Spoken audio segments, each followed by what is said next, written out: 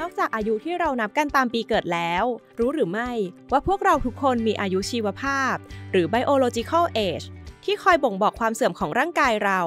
ว่าเรานั้นใช้ร่างกายหนักไปจนแก่กว่าอายุจริงหรือไม่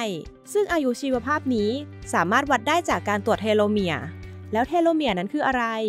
มาทำความรู้จักกับเทโลเมียร์โดยแพทย์หญิงสร้อยเพชรวีระไวทยะ แพทย์เฉพาะทางด้านเวชศาสตร์ชะลอวัยจาก BDMS Wellness Clinic กันค่ะ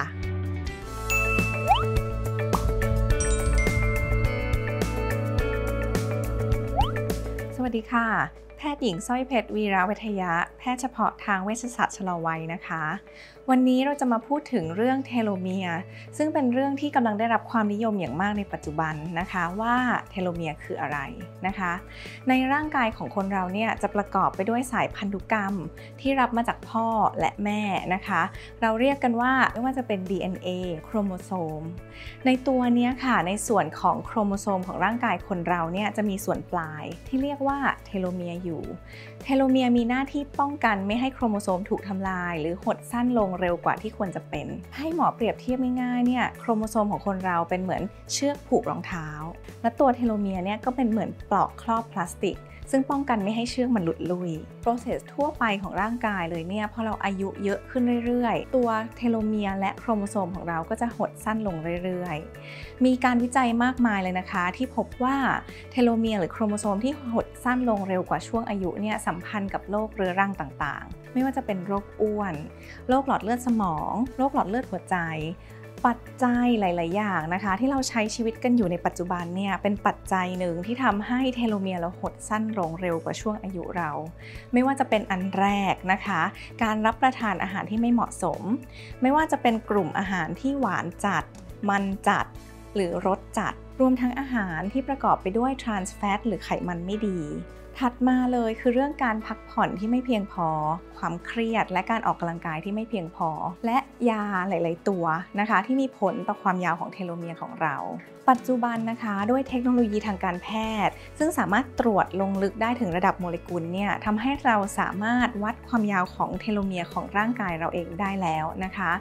ในการวัดความยาวของเทโลเมียร์เนี่ยจะเป็นการบอกนะคะว่าร่างกายของเราตอนนี้แก่กว่าอายุจริง หรือว่าเราดูแลสุขภาพดีหรือเปล่า ซึ่งจะมีผลอย่างมากเลยนะคะ ในการวางแผนการดูแลสุขภาพ และการป้องกันการเกิดโรคต่างๆ วันนี้หมอจะมีเคล็ดลับง่าย ๆนะคะ มาเล่าให้ฟังในเรื่องของการดูแลสุขภาพยังไงก็ตาม ที่ทำให้เทโลเมียร์ของเรายาวขึ้น อันแรกเลยที่หมอพูดไปแล้วคือเรื่องอาหาร รับประทานอาหารให้เหมาะสม หลีกเลี่ยงอาหารต่างๆ ไม่ว่าจะเป็นอาหารจานด่วน อาหารแปรรูป เช่น ไส้กรอก แฮม หมูยอ อาหารที่มีรสจัด ไม่ว่าจะเป็นหวานจัด มันจัด เค็มจัด รับประทานอาหารที่มีกากใยเยอะๆนะคะ ในกลุ่มการรับประทานอาหารที่สมดุลเนี่ยก็จะช่วยยืดความยาวของเทโลเมียร์เราได้ อันที่ 2 เลยที่ช่วยเรื่องเทโลเมียร์ของเรา คือการออกกำลังกายที่สม่ำเสมอ มีวิจัยเยอะแยะมากมายเลยนะคะ ว่าการออกกำลังกายเนี่ยอย่างน้อย 30 นาทีต่อครั้ง และอย่างน้อย 3-5 ครั้งต่อสัปดาห์ สามารถยืดความยาวของเทโลเมียร์เราได้ แต่ถ้าในหลาย ๆ ท่าน ซึ่งตอนนี้อาจจะยังไม่สะดวกที่จะเดินไปออกกำลังกาย แนะนำว่าให้ทำกิจวัตรประจำวันให้มีความแอคทีฟมากขึ้น เดินให้เยอะขึ้น อย่างน้อย 8,500 ถึง 19,000ต่อวัน ก็ช่วยเรื่องนี้ได้ นอกจากนั้นเลยเนี่ยการพักผ่อนก็เป็นเรื่องสำคัญมาก การนอน การพักผ่อนให้เพียงพอ อย่างน้อย 6-8 ชั่วโมง และเข้านอนที่ไม่ดึกมากเกินไป คือไม่ควรจะเกินช่วงประมาณ4ทุ่มครึ่ง การนอนที่ดีเนี่ยจะทำให้ร่างกายเราหลั่งฮอร์โมนได้ดีขึ้น มีสมดุล มีความสดชื่นมากขึ้น ช่วยยืดความยาวเทโลเมียร์ได้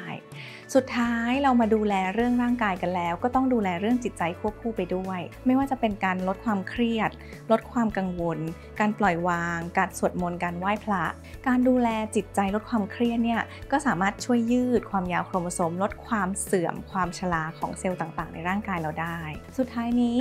ด้วยเทคโนโลยีที่ทันสมัยขึ้นทำให้เราสามารถทราบข้อมูลของร่างกายได้ดีขึ้น แต่ยังไงก็ตามเนี่ยเราต้องเริ่มจากสิ่งที่ง่ายที่สุดเลย คือการปรับพฤติกรรมการใช้ชีวิตของเราก่อน อย่าลืมนะคะ การดูแลสุขภาพ การดูแลการลดการหดสั้นลงของเทโลเมียร์เราเนี่ยเพื่อป้องกันการนำไปสู่โรคเรื้อรังต่างๆนะคะ เพื่อคุณภาพชีวิตที่ดีขึ้น เราสามารถเริ่มได้จากการปรับพฤติกรรมง่าย ๆ ของตัวเราเอง สำหรับตอนนี้เราก็ได้เคล็ดลับในการทานอาหาร และการปรับพฤติกรรมการใช้ชีวิตสำหรับดูแลรักษาเทโลเมียร์ของเราไม่ให้เสื่อมก่อนวัย หรือว่าหดสั้นไปกว่าอายุจริง เพื่อลดความเสี่ยงในการเกิดโรคเรื้อรังต่างๆ ให้มีสุขภาพที่แข็งแรง อายุยืนยาว อย่างมีคุณภาพกันค่ะ